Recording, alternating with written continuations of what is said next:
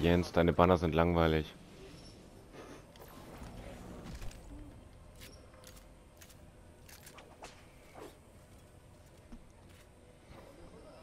Ayo.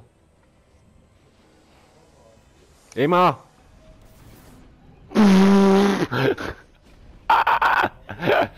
Kann jemand Emma schnell rätseln, bitte?